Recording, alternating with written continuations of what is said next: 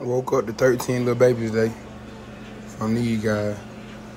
I still got a baby over there in the corner and one over here.